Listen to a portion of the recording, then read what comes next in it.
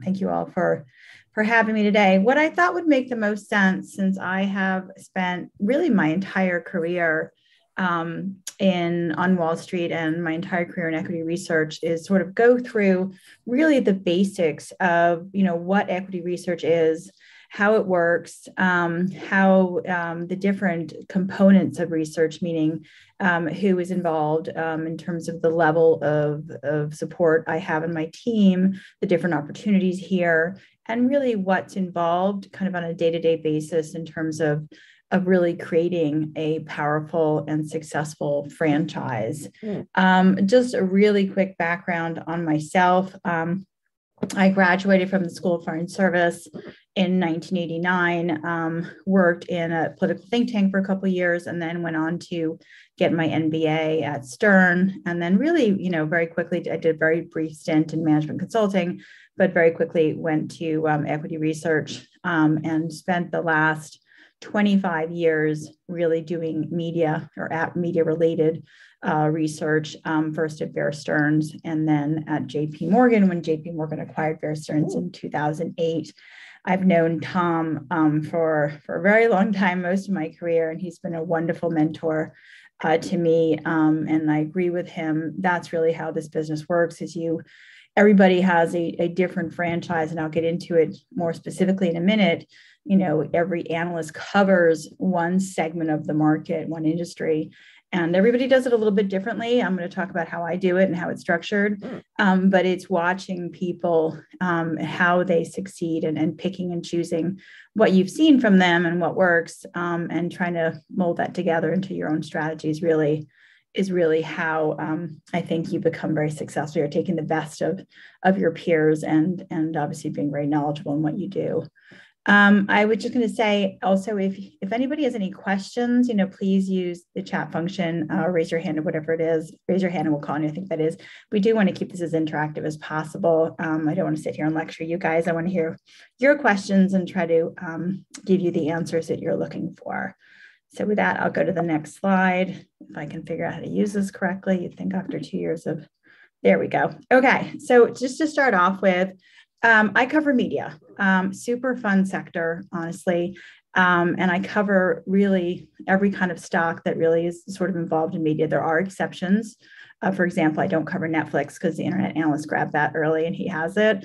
Um, I don't cover like cable, which might own media assets, because the way the department or way the way equity research is set up is you have a senior analyst for every sub, sub every segment of the market. So I, I cover media. There's a cable telecom analyst. There's an internet analyst there's a healthcare analyst, you know, there's an insurance analyst, you know, et cetera, et cetera. And so the department head kind of carves up the coverage and you come in um, and you have a sector or you grow up into a sector being a junior analyst and you're really responsible for that sector. So what does that mean? Um, here on this sheet here, as you can see on the slide two, I cover right now 33 stocks, um, and I've listed them in sort of subset sectors here.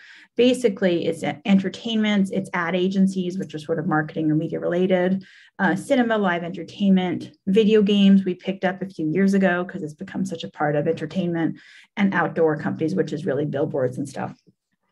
Um, the way um, again, a, a, sector can be sort of carved up and changed depending on how the department head defines it it the, the stock coverage is fluid. And what i mean by that is you know i don't only cover these 33 stocks for 30, 25 years. I've been doing this for 25 years and this list has changed over the 25 years because things in industry change right? I mean video games you know really didn't exist in the way they exist now 25 years ago. Same thing for pretty much every company on this page. So it morphs is what i'm trying to say. And then beyond that there are companies that grow and become more important like roblox. You know that is something we felt was necessary to cover. Didn't really exist a few, you know several years ago.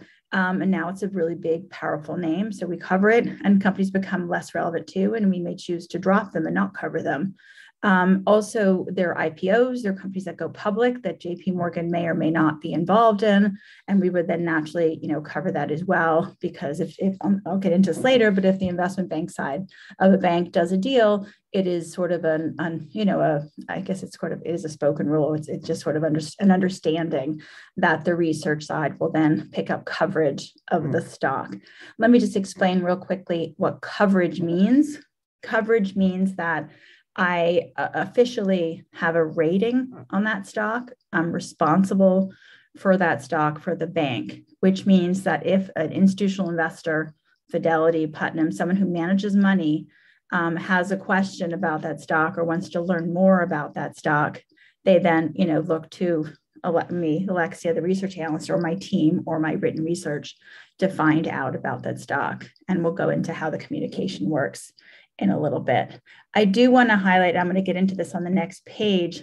I myself directly am not the lead analyst in all 33 of these stocks because over time, I have a team, and I'll go into that in a minute. But over time, as my team gets more senior and proves themselves, um, they actually, I give them the opportunity to cover one of the, the stock or a couple stocks on their own.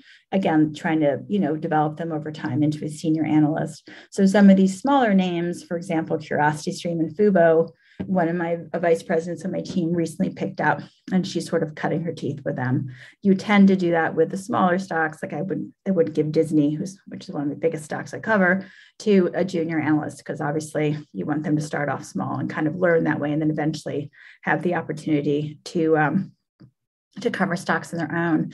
I do want to point out that i think you're hearing from tim nolan is it tomorrow I think it's tomorrow. He's he was my junior um, many years ago. He's an amazing analyst now.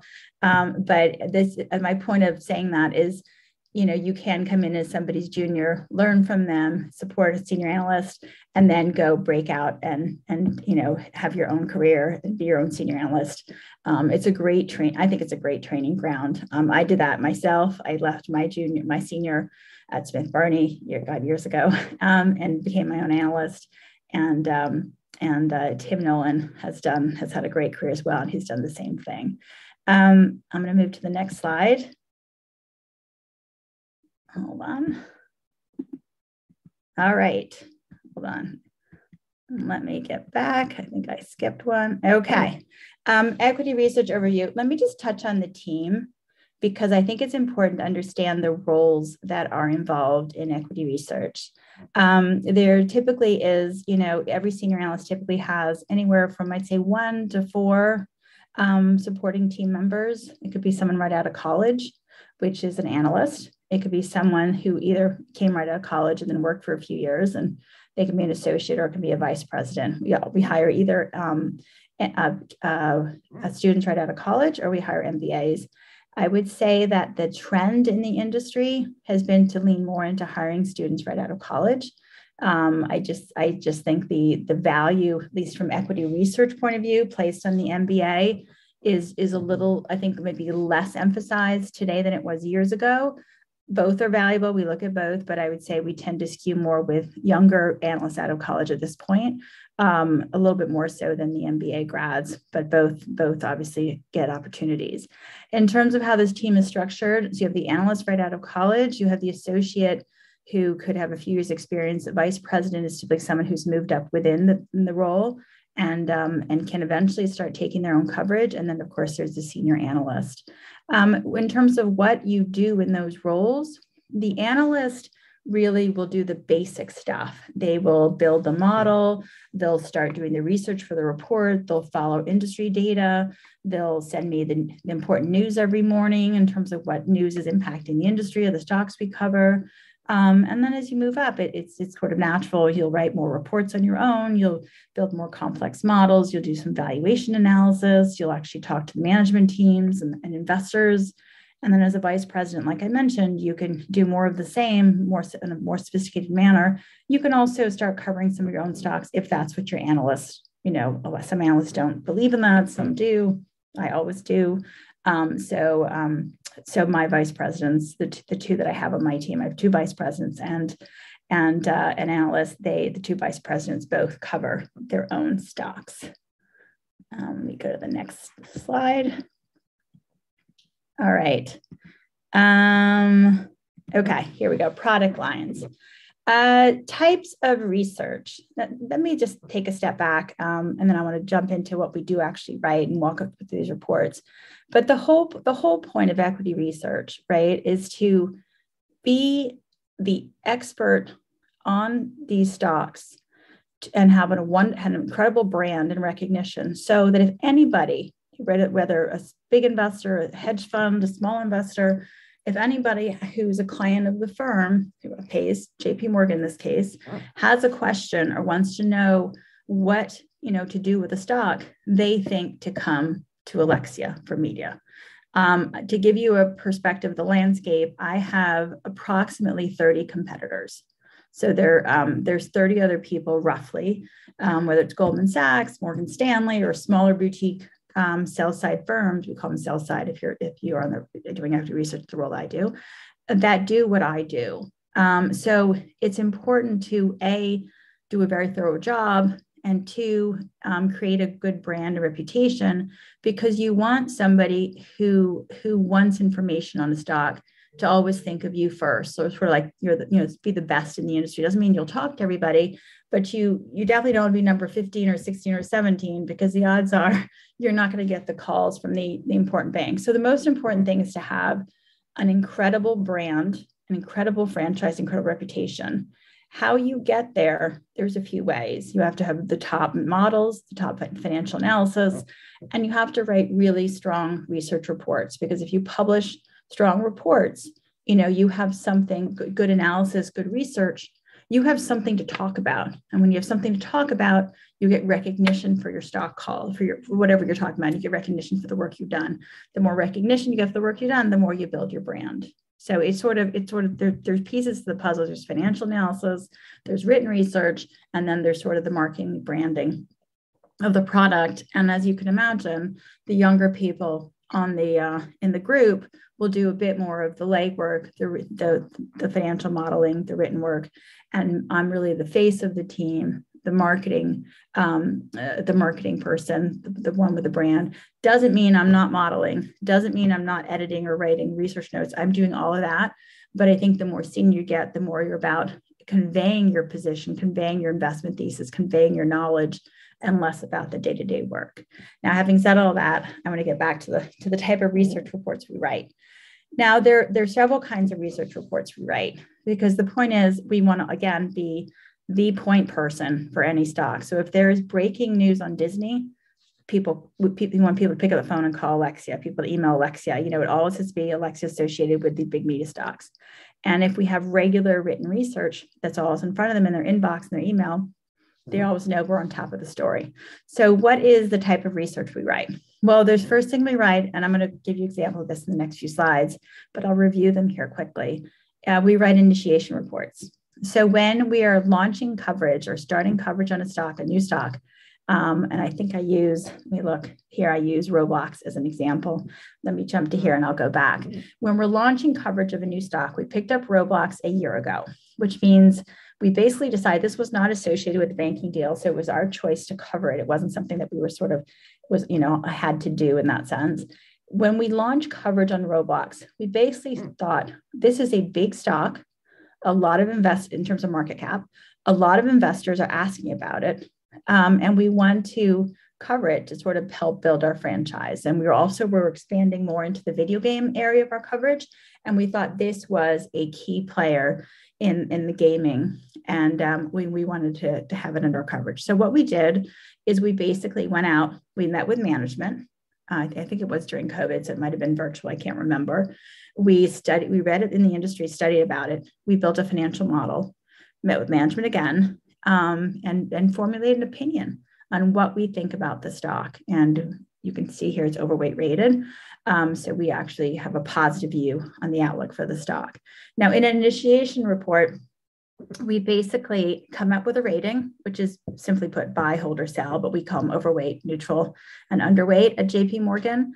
Um, and then we write our investment thesis. You know, it should tell you the name, the, the beginning, the name, the ticker, the market caps, basic information, and why we like the stock. It has to be short and to the point people read so much everybody's got add you've got to kind of get to the point across as quick and as as focused as possible. So that's you get a lot just from the this is i think this report is probably i'm guessing i can't remember 30 pages 40 pages 20 pages something like that. But you want people to read the first two pages and know exactly what you're saying and then they could go to the rest of the report if they're interested in going further.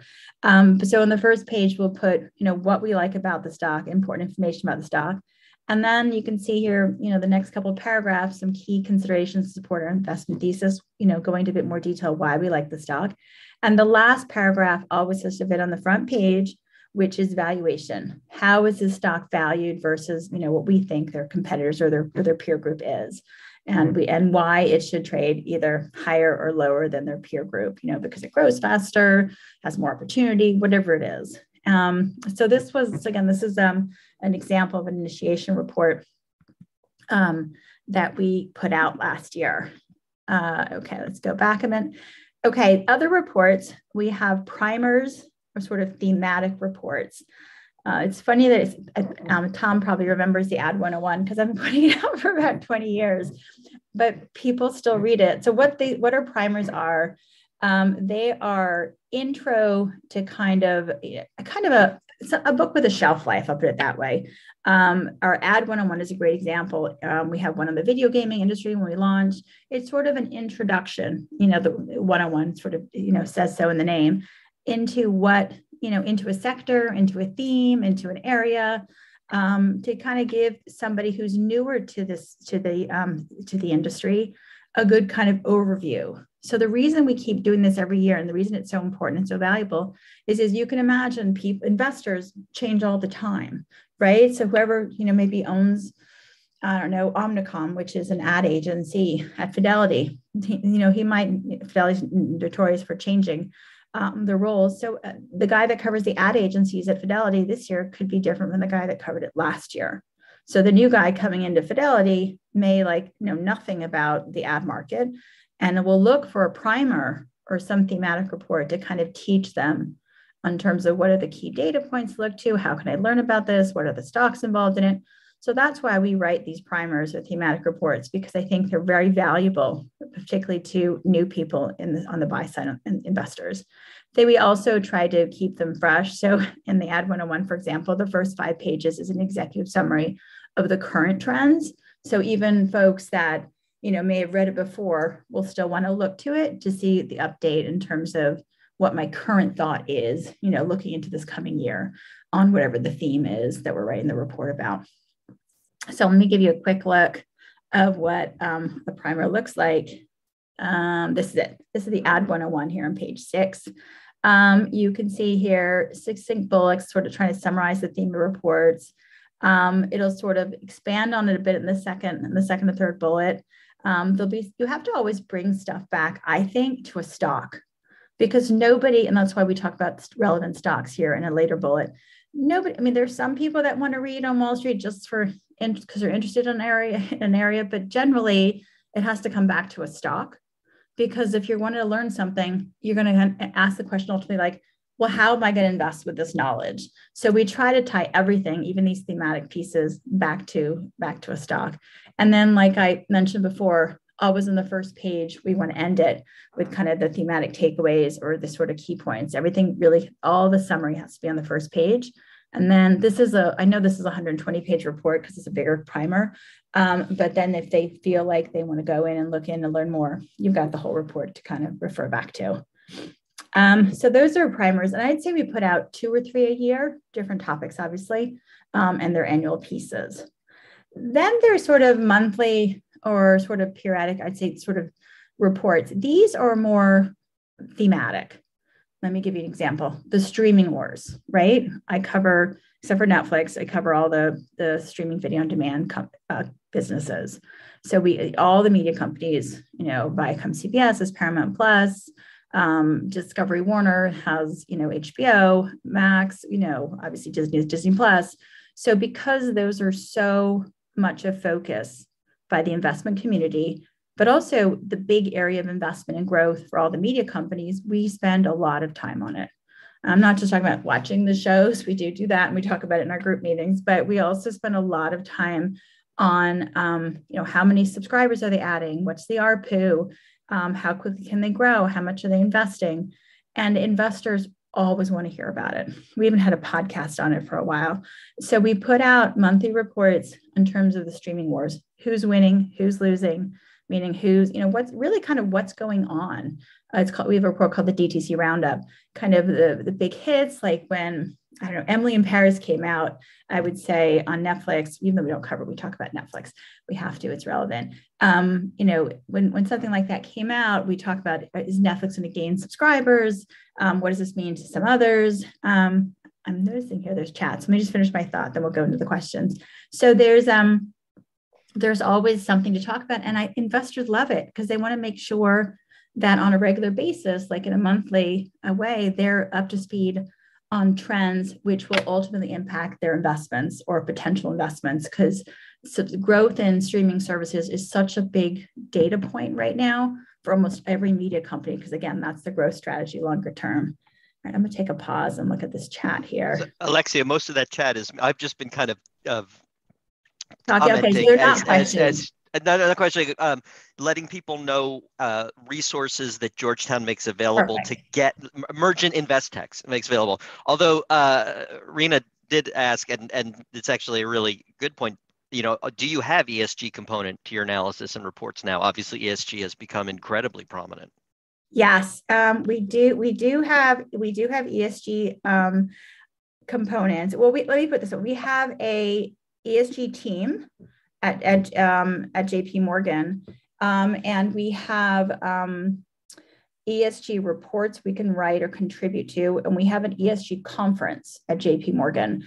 I would say surprisingly, we don't get a lot of questions. I say surprisingly because people often ask, you know, who who you know who talks about ESG. I would say on an analyst specific level, and maybe there's some industries where it's more relevant, right? If we had a tobacco analyst, which we don't have, it'd be very relevant.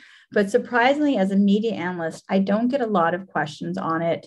Um, but I know JP Morgan is making a bigger effort in it. And I know we have this big conference coming up because Disney is speaking at it. Um, so I think it will become much more prominent and probably embedded in more of our research, I would say, going forward.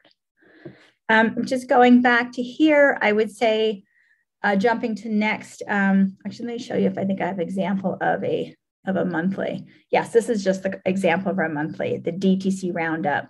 So this just, it's actually a really fun piece if you like, you know, streaming um, uh, platforms and learning kind of what's where you can see here, we talk about 1883, which was the prequel to Yellowstone that Viacom launched um, and how it really is helping their platform Paramount Plus because they sold Yellowstone to Peacock, so they don't have it on their own platform. We talk about what Netflix is doing. We talk what Apple's doing. Um, so it's, it's actually, even as a consumer, I think it's a fun read. Um, but it's one of our more popular pieces right now because the I think the investors always want to make sure they know what is going on with the streaming platforms. Okay, so going back to here, company specific notes. This consists of, you know, again, like I started off saying, I am responsible for you know the 33 stocks that I listed. So if ever something is going on, I'll use Disney's, Disney's example. With Disney, I need to have an opinion on it. I need to have an opinion on how its impact going to impact the stock outlook. So um, because of rules of fair disclosure, we really can't tell, you know, investor X something if it's material unless we put it in a published report. So, what does that mean is we're constantly writing reports. I, I wouldn't say daily because there's not daily material information that's coming out on Disney. We are reporting, re- writing reports daily, period, because we have 33 stocks, but we're not writing them daily. We're writing them often. I would say a, a stock as big as Disney, which is a few hundred billion market cap, we, we're definitely writing on them, I'd say at least once or twice a month.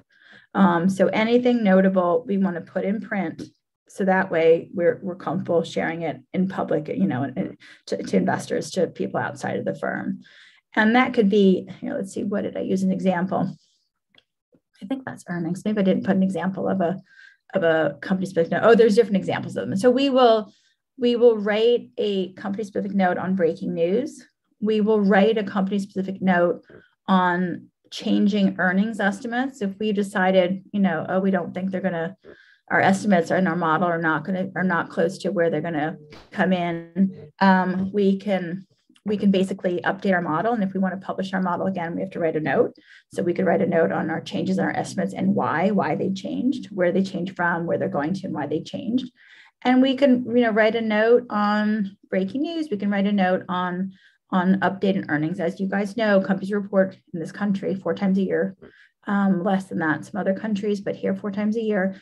And we will, and that means we're updating our model when they report. We've talked to management when they report. We listened to their conference call. We looked at their Q, and all that new data, you know, obviously drives us to update our estimates and update our thoughts on the company. So every time a company reports earnings, we always will write a note. So you can assume at minimum, and this is real minimum because we do more, we will write on um, those 33 stocks four times a year but you know it's a lot more than that. And to give you a quick idea what an earnings note looks like. Lionsgate, this is a film TV studio um, that also owns Starz. Um, here we basically talk about the headline has to be what was our first impression. Um, what did the what did the earnings release? What did we learn? What was the biggest takeaway? In this in this case, the takeaway was you know their the results um, showed um, improvement in margins, but however, the important takeaway here is we are reducing our estimates going forward because they're spending more money in content. So you have to have sort of a headline so you get investors to actually read it. And so it has to sort of, you can't just say updating our model or the company reported. You want to give the quick, real quick takeaway. So they want to kind of dig in and look further. So that's what that, that title is. And then we basically, we try to summarize the results less because anybody can look that up on the news, right? Or, or find it on a, in a filing, but try to take what they report and and offer our opinion. So give them a little bit of information about what they reported, but more more likely actually just sort of tell them what our opinion is and our mm-hmm. interpretation and our analysis and what this new data in terms of their new earnings what it means to us and our investment opinion in this case we have an overweight on the stock really because we think it's going to be taken out um, but you know what they do on a fundamental basis is still relevant so we do write about it here um, okay. Alexia, there, there's a really good question in the, the chat. Uh, what was it like covering AMC at this time last year? What effect do you think the growing number of retail investors using platforms like Robinhood will have on the market moving forward? Um, right. Great, great question. Um, uh, for a very odd reason having to do with investment banking, we actually didn't cover AMC Entertainment. It often gets confused with AMC Networks. And actually, I'm glad you asked that because it's a very funny story. um, there's two stocks there's AMC Entertainment, which is a movie theater. Um, and there's AMC Networks, which is a cable network. If you think Walking Dead, you guys are familiar with that. That was on AMC Net Breaking Bad, AMC Network. So we cover AMC Network, and the ticker is just one letter different between AMC Entertainment, the movie theater, and AMC AMC Network. And it is interesting. We had a sell on a, we don't cover AMC Entertainment, the, the meme stock you're talking about, which had the huge crazy ride, thankfully, because it would have been very challenging to cover it. Because again, the movement in the stock was not based on anything fundamental. And it's it's really hard, and that's what we base our research on. We listen to market sentiment, we talk to people, but our research is based on fundamentals. And to cover a stock that moves purely on speculation and sentiment would have been very, very challenging. So I'm grateful we can cover it. We don't cover it because there was some issue on the investment banking side. So we, and it's honestly, not, wasn't a very big stock. So it wasn't missing in our coverage. But interesting enough, we do cover AMC networks, which is the cable network. And so many retail investors actually confuse the two, which you think someone who's putting money to work actually would would find out the appropriate ticker, but they didn't. And so AMC networks, which we had a sell on because we're not very bullish on cable networks, um, went up enormously. It doubled. And it was 100% because people confused the two stocks. Uh, eventually it came back down, but it, it was very, it was very odd to see that. But I think that's indicative of the insanity that was going on at the time with these meme stocks and the fact that you just had this un- irrational um, investment, you know, based on on rumor and and and, and your and the retail investment community rather than fundamentals. Um, hmm. so that that's my little story on AMC, but unfortunately not on AMC Entertainment, which because we don't cover it.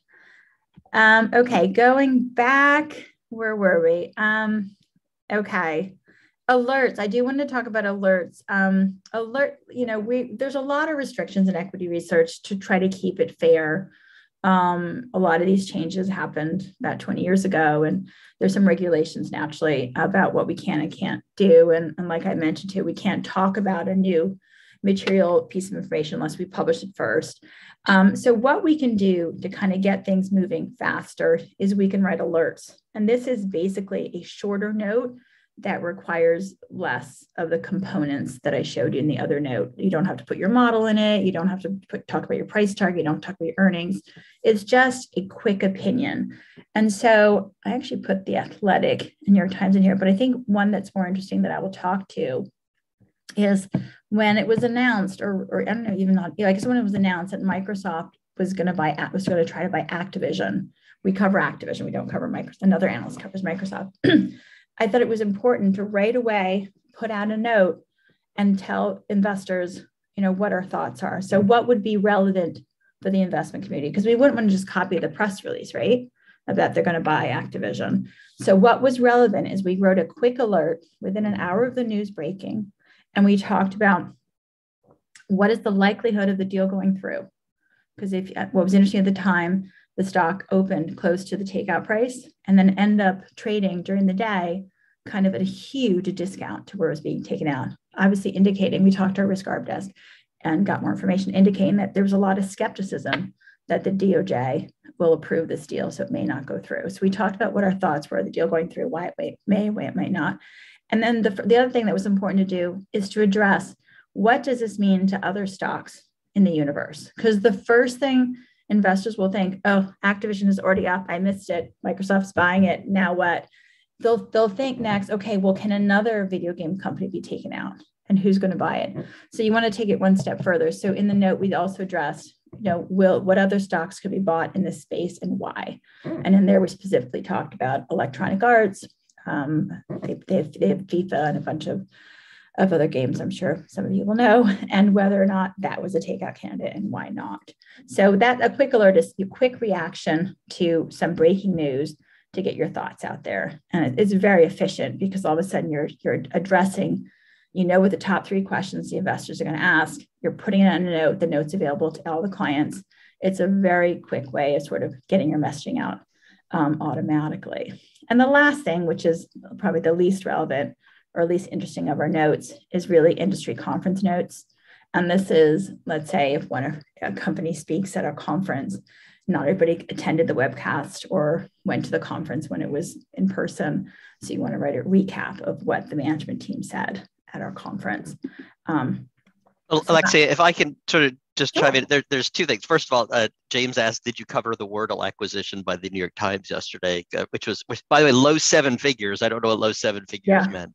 Uh, uh we could discuss the valuation there, yeah. but but uh, Guillermo asked, uh, and and this fits with the industry conference, and also you were talking about AMC uh, and something that academics are always concerned about. Are there any conflicts of interest between equity research and other divisions in the firm? Right. The famously the idea of the Chinese wall, which is you're not supposed to be talking to the investment banking side, uh, and there was then a big push towards independent investment mm-hmm. uh, analysis analysts, so you wouldn't have this sort of conflict. But Guillermo uh, was saying, do you are there conflicts of interest? Do you see it in the industry? How might you deal with this? How might our students deal with this? You know, if they take a job on the sell side. Great, great question. On the first one, real quick on the Wordle, too small. I mean, yes, yes, covered it. Yes, looked at it, didn't write on it because again, my concern is New York Times, and it's it just you know it just wasn't material enough to warrant writing, and it's it's not going to impact our investment opinion, and probably would impact our estimates. So at this point, if we get more information from New York Times when they report next week, we will update our model, maybe discuss it in the note. But at this point, a little too small. We're not going to write on stuff that's not material. Um, but good question. And the second question, great question there, which is conflict of interest. it's um, it's a, it's a, it, it is a, a very important question because I think it's something an analyst works with constantly. And the rules when I started this job 25 years ago and the rules today are very different. Um, I would say the wall is a lot higher and there's a lot more watchdogs on it. Today, um, there's so much regulation. There's so many watchdogs. It you have a lot less conflict in the end of the day. You have a company that goes public and um, the bankers obviously supportive it. They're getting fees. You have 100% independence. I'm not just saying this. You have 100% independence to write whatever rating you want and whatever research you want really with with minimal to net no pushback. Now, let me just give you a caveat.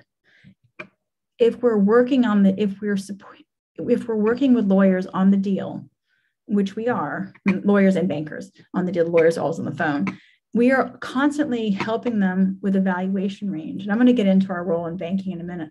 We're constantly helping them with evaluation range. We're constantly helping them formulate the deal. There's a lot of investment banking work associated, at least with media, not every sector. Um, and we're always working with banking.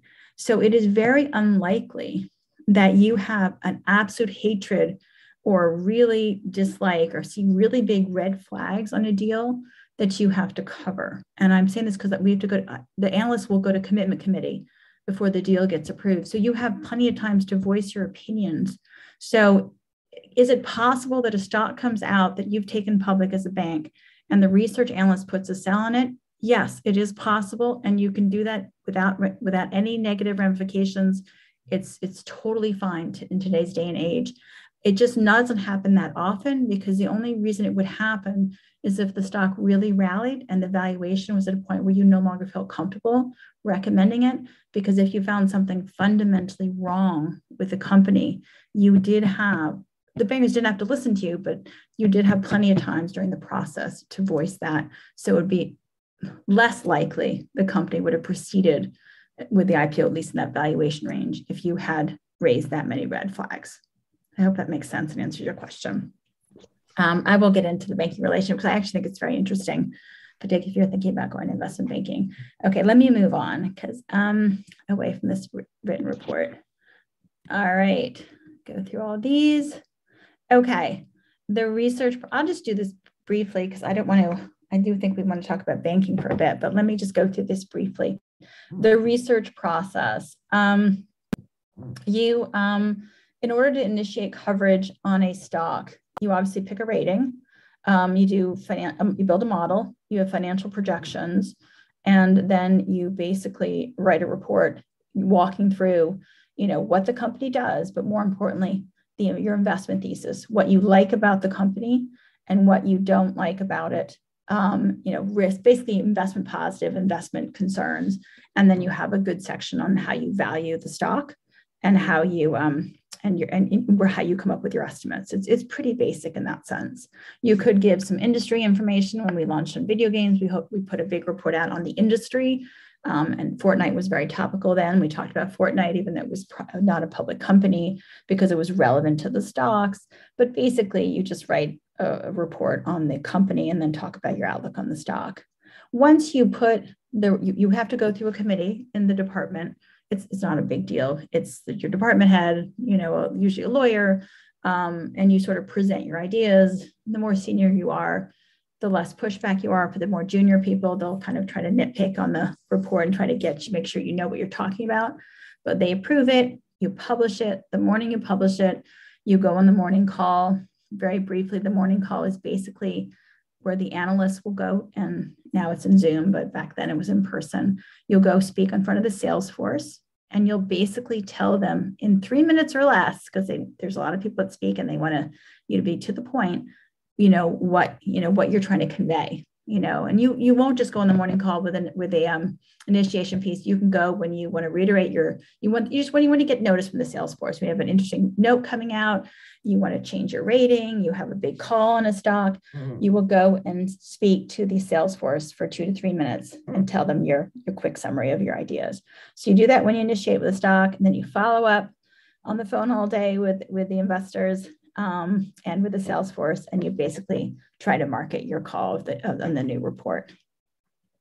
Alexi, if I can kind of throw in a couple of chat questions here that, that came in. Ryan asked, and I think this is great. What are the most common writing or research mistakes or omissions you see young analysts make? All right. Uh, obviously, it takes time to learn the, the learn that. And then uh, the other thing about that is Christian is asking about when you analyze companies, whether it's the young analyst or you're doing it now do you rely solely on the metrics given by management or do you rely on third party data sources Oh, so. two, two very good questions. Um, the first one, common mistakes.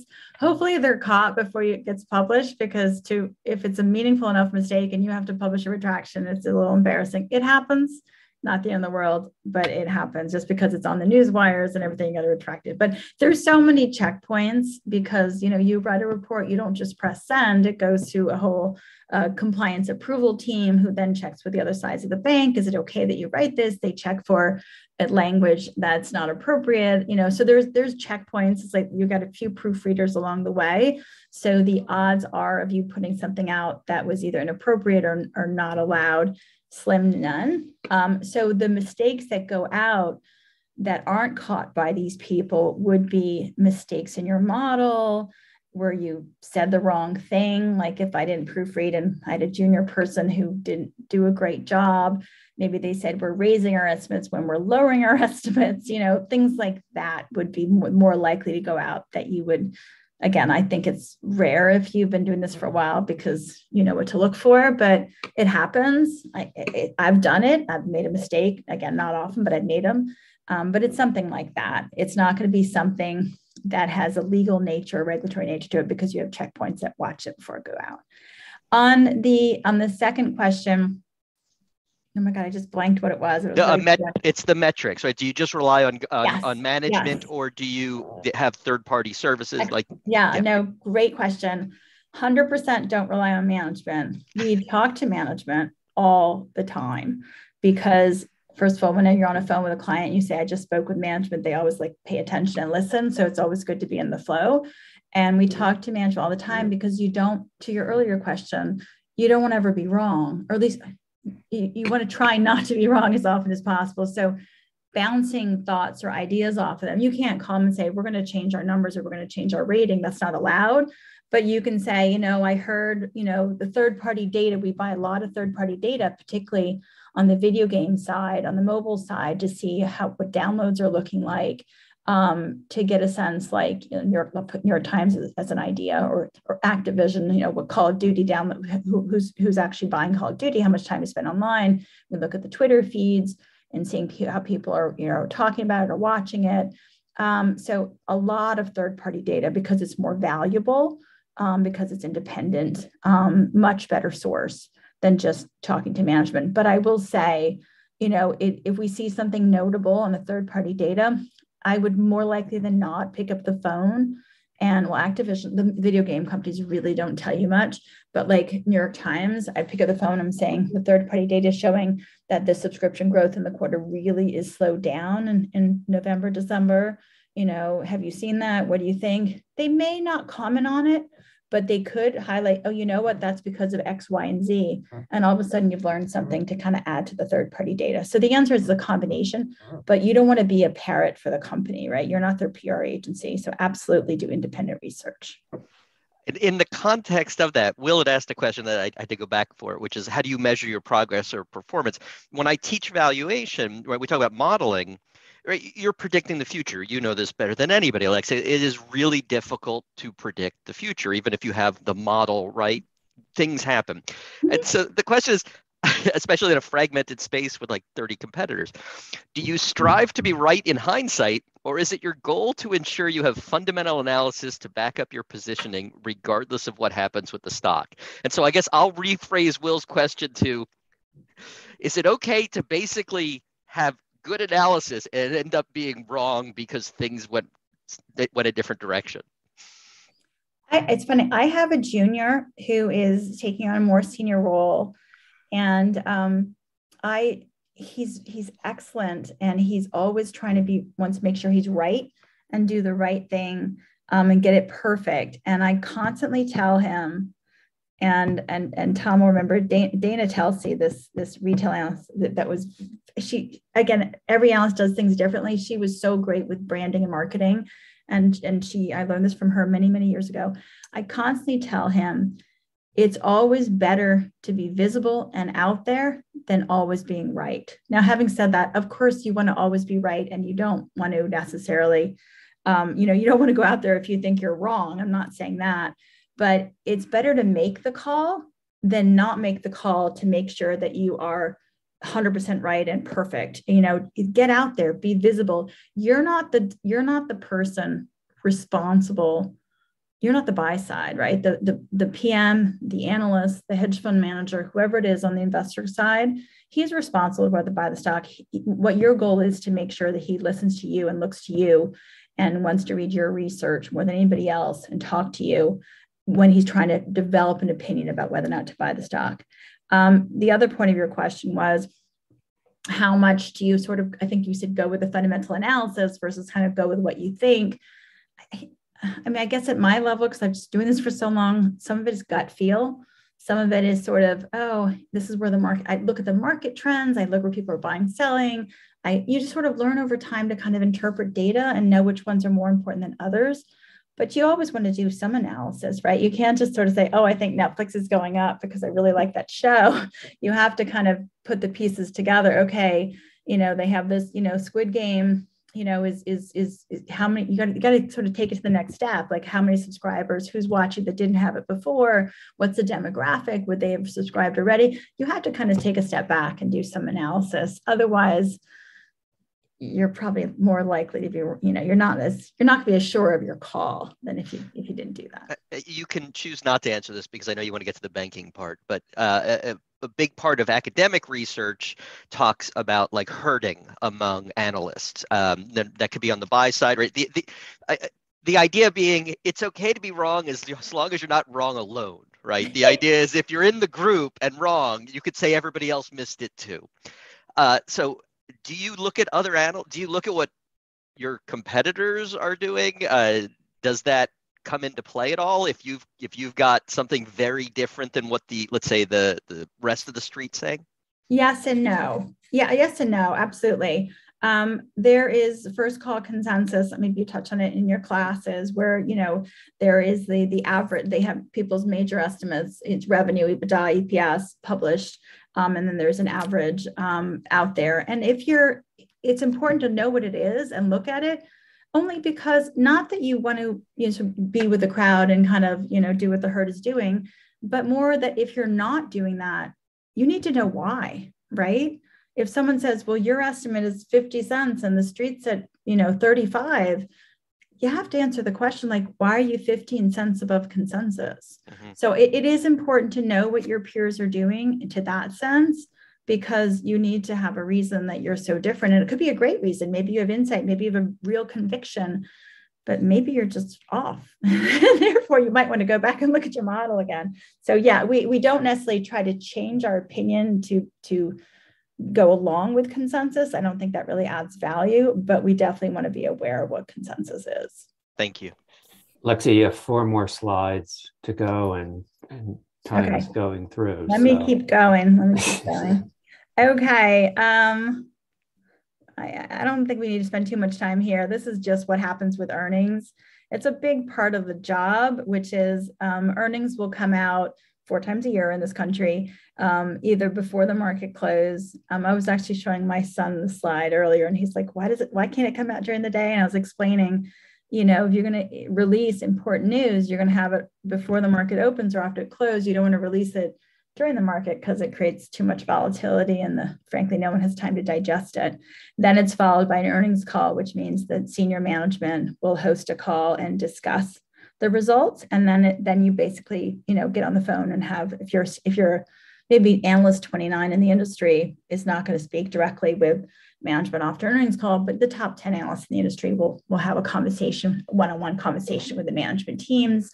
Um, and then obviously the most important thing is to write up your thoughts quickly and get on the phone with clients. So that's what happens. So usually it's the time of, of the year that my team and I work really long hours. The rest of the year is not so bad. Um, okay, the next slide is, I think, commun- am I, I skip one? I don't think so. Communication um, with the buy side.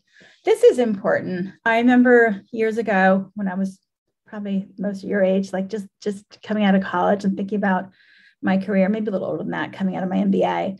I met with somebody on the sell side. He was a radio analyst. So this is how long ago it was because radio was a huge sector. Now doesn't exist um, as a sector. Um, and I asked him, you know, what it takes to be a good equity research analyst. And he said, you have to be a marketer. You got to be a marketer. It's not about the analysis, it's not about the writing, it's about marketing. And you know what? There's some truth to what he said. Um, you have to be personable to a certain degree. You have to want to talk to people a lot. You have to want to share your ideas. If you have, if you uncovered something, you have the best research in the world, and you're not good at communicating that research, it's worth nothing. It's worth nothing. So if you, I mean, again, if you want to come in as a junior and just do models and write research reports, that's amazing. But if you want to eventually be an equity research analyst, you have to like to market. You have to like to talk to people. I love to market. I loved getting on the road, going to Boston, you know, seeing my, at this point, they're old friends mm-hmm. and just sort of chatting with them about what I think about my stocks. And again, we don't talk about all 33. They pick the ones they're interested in, those are the ones you talk about, or you just talk about the big ones. Um, it's, you know, you go to Europe, you go to Asia sometimes, you go to the big cities in the US, or you just, during COVID, do Zoom calls and stay on the phone. But you're constantly sort of just staying in connection with your counterpart on the buy side. So again, you have a relationship with them and they know to come to you and not the guy at Morgan Stanley. I mean, they'll probably hmm. go to the guy at Morgan Stanley. He's good too. But you know what I mean? You're, you're in the flow for sure. Okay. and Alexia, just one thing. This is on the sell side, right? We're going to hear from somebody on the buy side in research, and they have a different tech. Hundred percent. I think everything I'm saying on the sell side, to Tom's point, a lot. Some of it is overlap, the analysis, the the modeling, but in terms of the banking relationship, the marketing, all that specific to the sell side. Um, basic skill sets for the job. I thought it was important just to talk about this because we're always hiring people. We're, you know, the team's looking for two um, analysts right now. There's just, you know, they're just because we're expanding our coverage and there we lost somebody to the buy side. Um, the uh, what people ask, what do you usually look for? So what I think makes a good junior person coming into this role, financial analysis. So taking great courses, you know, in the MSB um, here, really understanding basic financial analysis, know how to build a financial model. There'll be there's always trainings you don't know perf- perfectly, but you have to have you have to know how to read a 10K, a 10Q, you know what the basic drivers of a model are. You know, really understanding um, financial financial models and financial statement analysis. Um, industry knowledge that usually comes. You don't necessarily walk in the door with it, but you know learn the key themes in the industry, the trends that shape it, the data points, the data sources and develop relationships over time with people in the industry that can help you. Um, I often speak at conferences and on panels just because you, it gives you uh, a bit more of a presence, and not on the investor side, but in the industry. So then, if I someone knows who I am, then I need, can call somebody and ask them for information. Like in a private company, they'll do that because they've seen me at a conference, they know who I am. Strong writing skills. I think this can be learned. I think if you went through Georgetown, you're probably a good writer. Um, but you know, the point the point with writing is to be able to convey a very clear message to the point, right? Don't go on and on and on. They get to the point of why this is an investment thesis. And then, like I mentioned before, marketing and branding skills are important. Um, last um, thing on marketing, you the marketing is internal. This is again sell side to Tom's point. You talking to the sales, the traders in, within the firm, speaking on the morning call, talking to clients, in-person meetings and then industry conferences. You can go on JP Morgan has sort of indifferent about TV. I like to go on CNBC, so I'm on it um, from time to time. Totally, uh, they don't have a strong pre- preference one way or the other if you want to be on the on TV. Last slide, I think, is the collaboration other areas of the bank. This is specific to the sell side too. Um, talking to sales and trading, you want your traders and, the, and your salespeople to know what you're saying because the more people that know what you're saying, in JP Morgan, the more people can convey your message outside of JP Morgan. So make sure the people inside, so that means talking to the sales piece, people talking to the traders. Investment banking, we touched on this a bit in the Q&A, but um, do working on IPOs, talking to bankers with a lawyer on the line, just about industry trends, making sure they're smart. All of this is super helpful um, and a big part of the job you you are involved in IPOs, you are involved in roadshows, you're involved in marketing the deals. Um, again, it's all with certain regulations, but you know if, if it's an industry that is active in the in the in the IPO market, you're going to you're to be very involved in them. Um, so so basically, it, it is a good chunk, especially in this market. I'd say I worked on 11 deals last year, and have several active deals right now. And then last thing, I don't know why I threw this on there, but mentorship. I think it's important to just, you know, you there's a lot of stuff JP Morgan likes you to work with with other areas in the bank, you know, mentor younger folks. I do a lot of that. Um, probably because I've just been doing this for a long time. So I'll, I'll I think that's it. Sorry if, if I've gone on for a long time. Um, I'm happy to answer. I would just let me give a little two second promo. I absolutely love my job. I think equity research is a phenomenal career. Um, I just think you you sort of end up being your own boss in the sense you have your own little business. You decide when you want to write reports, not not earnings. Um, and it's just a it's a wonderful mix of you know financial analysis, writing, learning about an industry, talking to people. Um, I think it's a, I think it's a great job, and I would recommend it to everybody um, who's interested in those has those skill sets, interested in developing those skill sets. It also gives you a window into investment banking without having to do all the grunt work of investment banking. Um, so I think that's uh, an interesting balance as well. But I'll, I know I talked for a long time, so I'll stop there. If there's any other questions, I'm happy to answer them.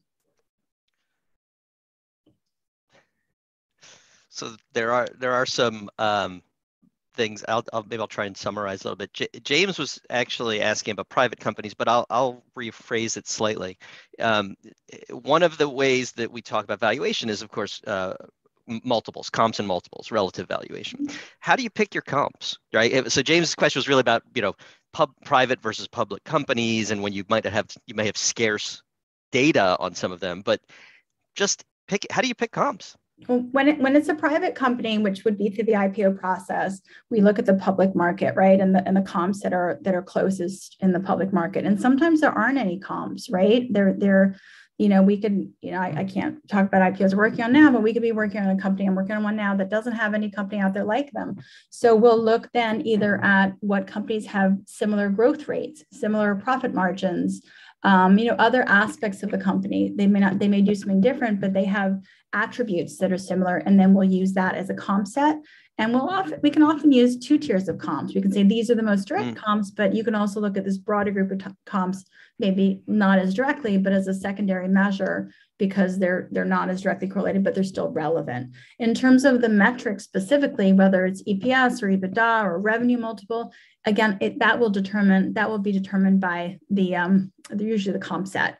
If we're doing a very fast growing early stage um, you know, gaming or software company like AppLovin or Roblox will tend to look at a revenue multiple, particularly if there's no EBITDA. In those cases, there is, but if there's no EBITDA, um, and it really is what the, what the comps are metric is for valuation is what we'll use for the new company.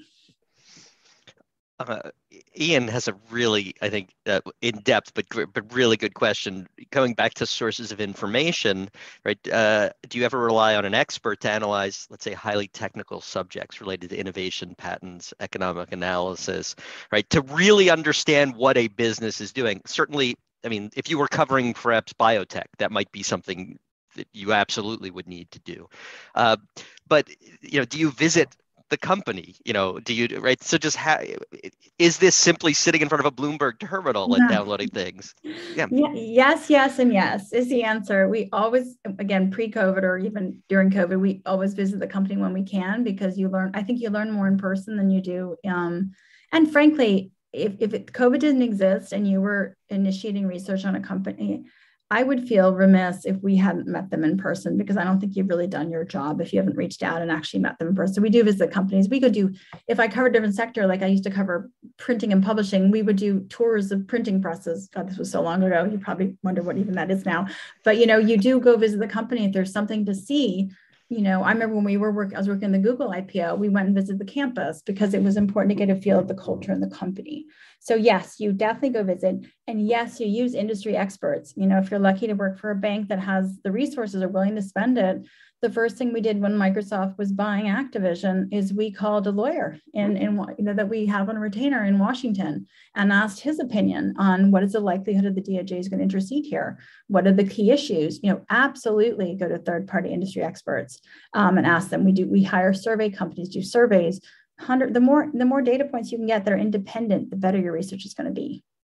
Alexi has. It's good to see you, Alexi. By the way, um, uh, mm-hmm. has has a uh, has a question that is somewhat philosophical, which is where do you sort of see the future of equity research going, right? We've seen the financial markets change dramatically, and and for sure, the let's call it the monetization of research uh, has changed sort of dramatically. Mm-hmm. Um, you know, we now have independent analysts. Where, where do you see the future of, of equity research? Will it still be housed inside large financial institutions? Will it become more, I don't know, democratized, decentralized? Uh, any thoughts? Yeah, I mean, I, I, think it depends on when you ask me. You know, I mean, there were times in my in the 25 years that I thought, oh God, this business is going away. You know, you know, there people um, investors using index funds more. They're not really doing independent stock buying. Commissions have gone down. IPO markets dried up. And then there's years like last year, you know, 2021, where we just did banking deal after banking deal. And, um, you know, there's a lot of volatility in the market. And I just felt, you know, we were needed so much and i think that the bank rewarded us you know for you know I mean, it, it, it fluctuates is my answer. I think there's some value to independence but you have to make the financial model work and without the banking side and the trading i don't know if you always have the resources to have the top analysts i think you'll find that the bigger banks tend to have more of the top analysts because they have the resources to, to put you know behind them in terms of different revenue streams right because we get paid both by commission sales and trading and investment banking so I'm not quite sure charging for research really is a model that is very sustainable. There's some, there, I mean, you're going to hear from one, I don't know. There's some that have really mastered it, but it's harder to make it work because if you already have 30 analysts out there, how many firms are going to pay for one independently versus just, you know, using them for their, after they have their relationship, you know, from trading. So I think it's, it's difficult to be independent.